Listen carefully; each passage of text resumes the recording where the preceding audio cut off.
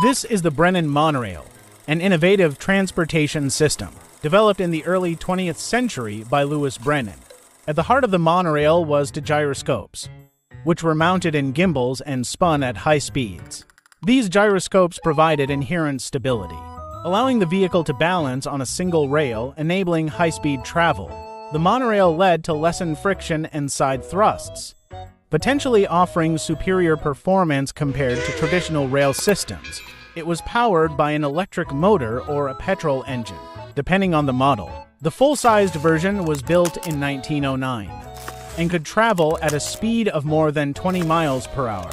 A number of passengers were driven, one of whom was Winston Churchill, who showed considerable support for the invention.